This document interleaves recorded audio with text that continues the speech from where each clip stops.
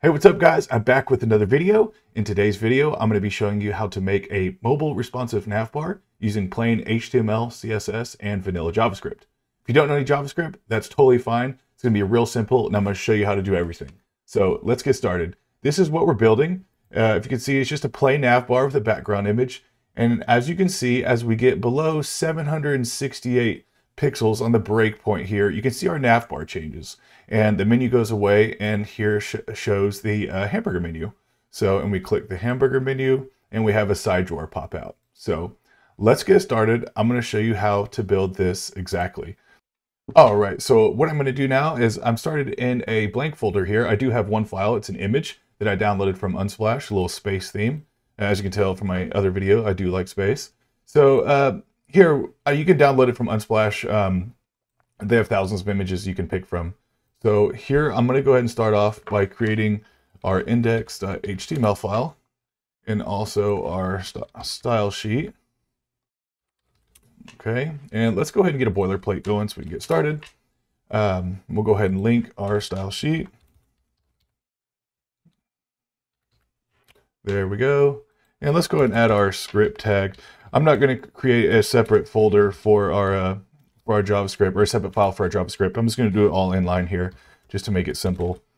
And I'm going to set off our little to-do list here in JavaScript. So first off, we're going to be uh, select hamburger, and then we need to select our nav menu. Then we need to add event listener. And then we're going to do um, a nav menu function, and we're going to toggle an active class list for a couple things here. So, okay, let's go ahead and get started here. Uh, I'm going to use an extension called Live Server, and you can uh, see, there we go. You can download the extensions, it's free, it's real simple to use. Basically, it just updates the, the HTML file. So let's get started here. Alrighty, I'm going to go ahead and create a header div. And in there, I'm going to create a, uh, see, a nav bar. And inside the nav bar, let's do a, let's do a nav logo. And let's just use a header. We'll just say nav bar. And then also inside the nav bar, let's do our hamburger menu. And we're not using um, uh, font awesome or anything like that. We're just going to style our bars uh, to make it easy. Mm. There we go. And three of those for our hamburger. And then outside of the hamburger div, but inside the nav bar, let's do our menu. Okay, so nav menu. Actually, let's make this an unordered list. There we go. And inside here, list item, we'll have some links. Um, they're not going to go anywhere. So home, and let's do let's do a um, a shop, an about, and a contact page. Contact would look nice. Okay, there we go. And let's add what a little div down here for our image. Um, the background. We'll leave it blank for now. So let's go ahead and let's do some styling, make it look a little nicer. So first off, I'm to take care of a few things here. Um, whoops. What's up here? There we go. Box sizing. Box. We'll set our padding to zero. And also our margin to zero. Forgot something there. There we go. Alrighty. And we're gonna get rid of some of this uh, this style type. It's gonna be real ugly. Then also for length, um, text decoration, we don't want anything. We want none. There we go. All right, so let's slide this over a little bit. We can see a little better. There we go. Okay, so let's start with our header header and we're going to say um, width 100% and we'll do a height of 80 pixels and uh, we'll give it a uh, the uh, background color of a light black. There we go. Okay. Uh, and let's go ahead and change some styling here.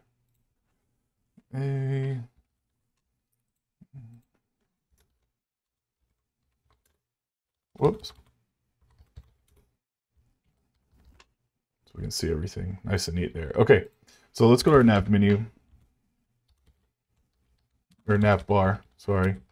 We'll display flex so it's all in one line here. There we go. And we also want to um, justify content space between, and then also we're going to align items in the center. Okay, there we go. Now let's have our uh, nav menu to display as flex as well. Display flex, okay. And then we're also going to, uh, there we go, okay. Mm -hmm. Just give it some uh, padding here. Be nice. There we go. Perfect. All right. So let's go ahead and do our hamburger. And right now, I'm just going to say display block. We're going to go ahead and hide it in a media query. And let's do this our bars. We're going to say display, if I can type display block. Uh, we're going to say uh, width of 25 pixels, height, 3 pixels each there. Margin is 5 pixels auto. And see, background color so we can actually see it. It's going to be white. And let's do a transition all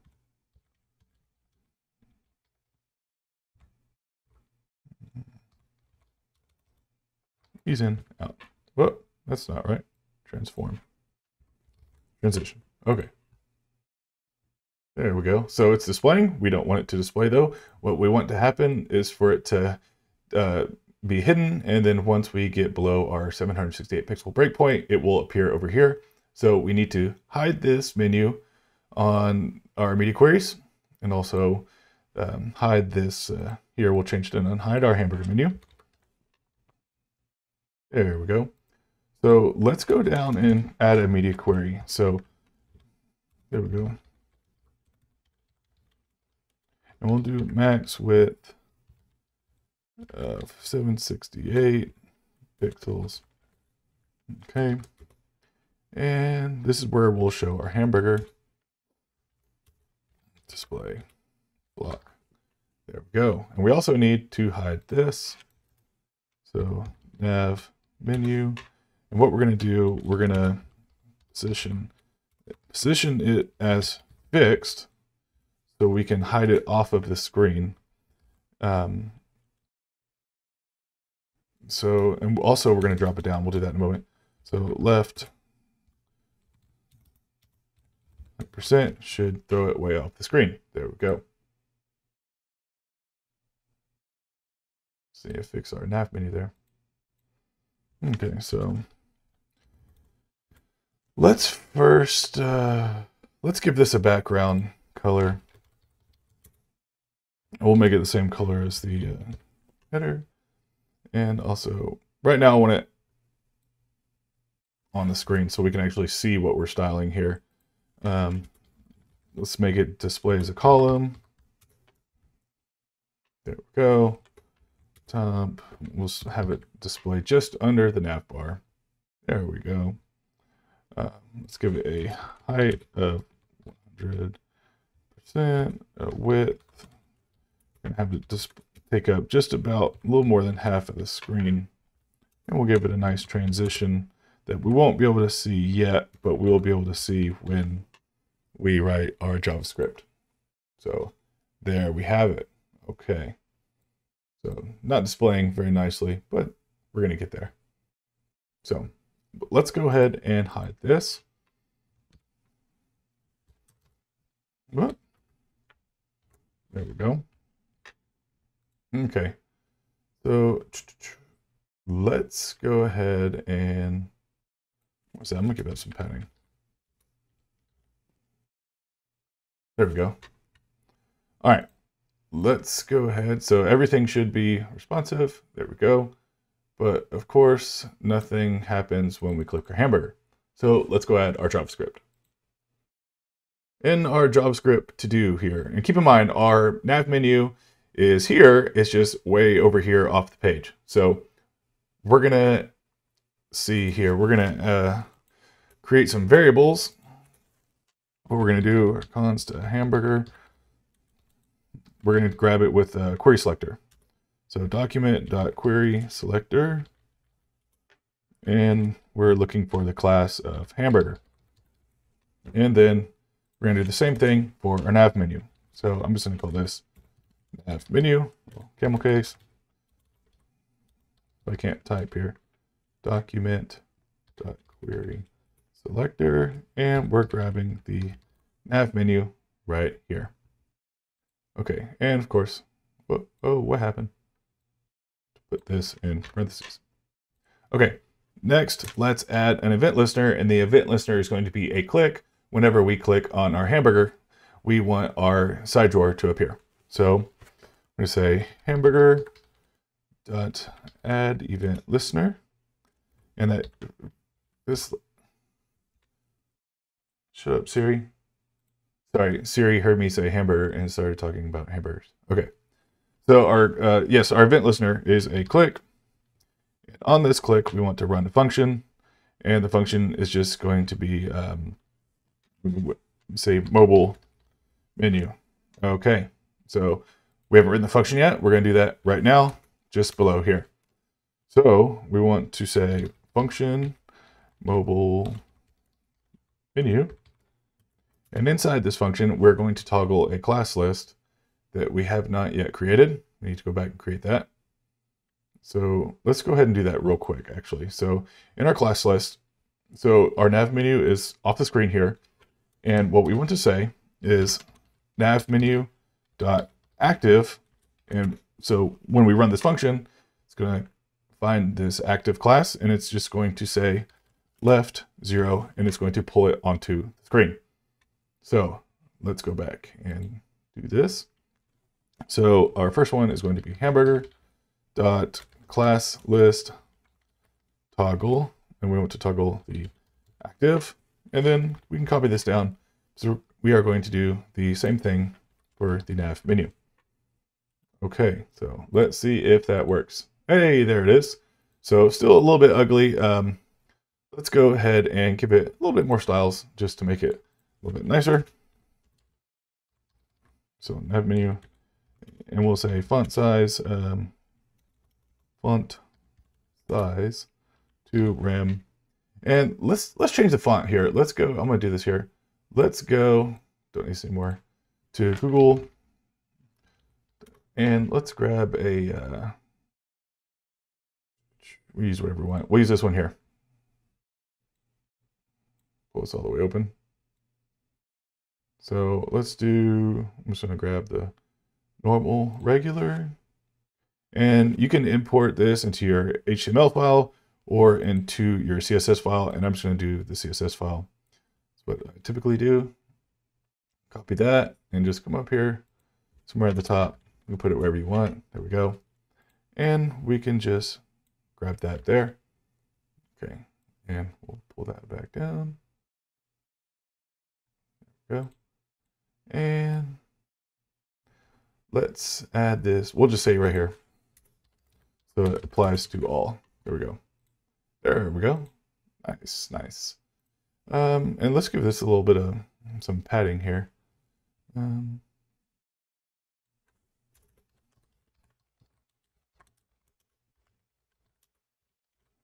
that should make it a little bit nicer. Hey, there we go. So there we go. Yes, at the 768 breakpoint, it hides it. Now let's just add a little background image just to make it a little bit nicer. So I already have my image here. This is what we're going to be using. And we already set up our div here. So what we're going to do, we can just do it right here at the bottom. Background. And we're going to use background image URL. And though it's not really a URL, it's just what it wants to be called background.jpg. So And here it should look for that there. Uh, of course, it's not going to be displaying. Background.jpg. Okay. And what we need to do is give it a height. And the height is going to be 100 viewport heights. So there it is. Um, still ugly. We need to give it some more styling. We're going to give it a background size. And we're just going to tell it to cover. And then a background position of center, center. And that should make it a little bit nicer. So there we go. I think that's uh, that's pretty good for this tutorial here. Um, it shows you how to make just a mobile responsive navbar and basic JavaScript and add a little image in there. So as you can see, it is fully responsive. As we go down to past 768 pixel breakpoint, the nav menu changes and the hamburger appears. Click on the hamburger, shows our nav bar. I chose some larger text. That seems kind of be the style here in 2021. So you can do whatever you'd like. You can add in some different functions and um, just change the styling of the nav bar. You can make it a drop down opposed to a side drawer. Uh, feel free to tweak this however you would like. I'm going to put the code on my GitHub and there'll be a link in the description. If you like this video, I'd appreciate a like and a subscribe, and I will be putting out some more content just like this one in the near future. Thanks for watching, guys. See ya.